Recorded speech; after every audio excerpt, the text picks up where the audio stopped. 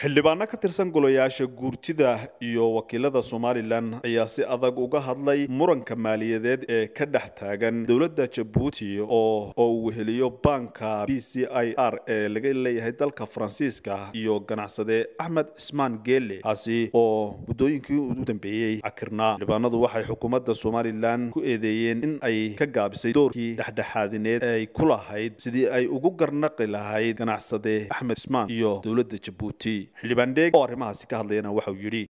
ma guurto. Halkaa baanku yaallo ku taalla. Waxaan ahayn qofka waxba kuma siiyo madaxweynaheenu wuxuu inoo sheegay inagoon inagu maqalba maqalba arrintan inagoon maqalba oo aan ogeynba oo somalilanba ogeyn miidiyana aanay gelin ayay madaxweyneha u timi sidii aanu ka maqlaynay afhayeenkiisa oo ah ku hadlayay carabkiisii waxay ahayd markaa inuu inankiisa u yeedho inankiisan ina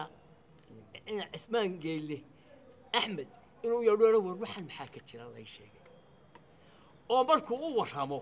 isagoon cidiba ogaanin uu idhaha waryaa ismaaciil cumar geelle ninkan markii baanku wax siinayey hantidiinba guurtada ahaydee uu ku uu baanku wax ku siiyey ilaa lacag la iskama tirsada uune ee jabuuti ku taallay meeday waa tan intaa in ka badan oo boqol iyo intaasa ayuu sheeganayaa meeday intaa markuu idhaaho ismaaciil cumar geelle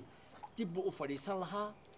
marka ama waa isa seegi lahaayeen oo halkaasay ku kala boodi lahaayeen ismaaciil cumar geelle iyo madaxweynaheedu أما هل كاسي كوهشين لها ينو ينقو نقو أغانين أيا وحي إنا عثمان جيلي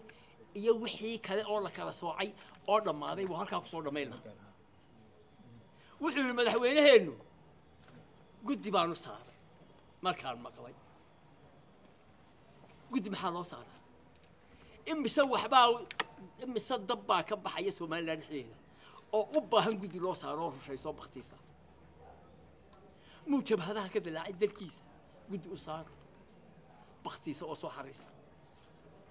حزب يضن دورش لك قبسوا مواد خلاف كود إيه تدبر عنك قبسومي دي مو قد أصاب هشي سيسة. مو في لحظة قبل. قد قرن. أو قبل ربك كوبن. وسميه أو lacagtan uu ku fangaraynayo meelaha xaaraanta ah uu ku fangareeyo yeedhaho gobolba wiig jooga oo qabyaalada ka soo masaxa oo meel isugu keena oo dadka kala jeeda isu soo jeediya oo uu lixda gobol madeeyo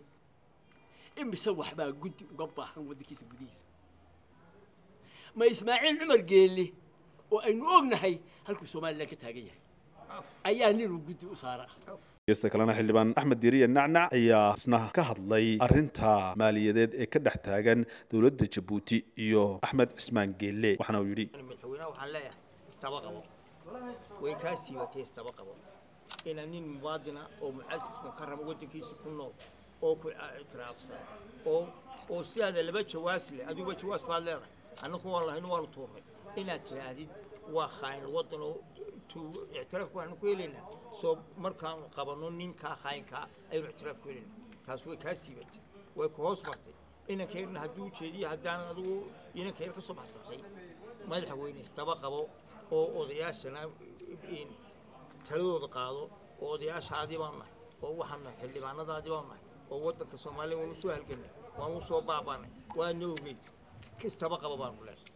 oo ka noqo kelmadda aad leedahay maanta waa ninkaa mucas aan waxba hays wixiisii laga qaaday ee boqol iyo labaatanka milyan laga qaaday ee kule baanku. Waxba ima siin garasho waxba iguma siiyo magac waxba iguma siiyo hantidaydaan dhigay. Waa baananka waxbaad ka amaahan jirtay baanka hantidiisii ha la qaato. Baaqi inuu soo celiya ayaa kaaga wanaagsaday